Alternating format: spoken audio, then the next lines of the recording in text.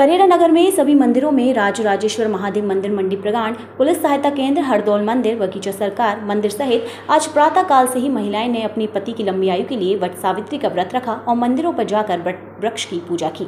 वट सावित्री व्रत ज्येष्ठ माह के कृष्ण पक्ष की अमावस्या तिथि को मनाई जाती है।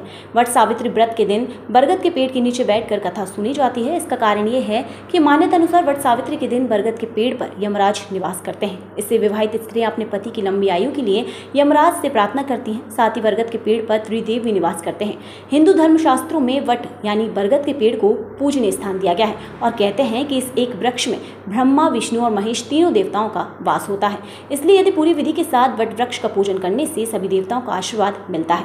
इस दिन महिलाएँ अपने पति की लंबी आयु के लिए व्रत करती हैं। ऐसा माना जाता है कि व्रत का पालन करने से महिलाएँ अपने पति के लिए सौभाग्य और समृद्धि लाने में सक्षम होती हैं। वट सावित्री पूजा विवाहित महिलाओं के द्वारा की जाती है। इसमें महिलाएँ वट यानी बरगद की पूजा करती हैं।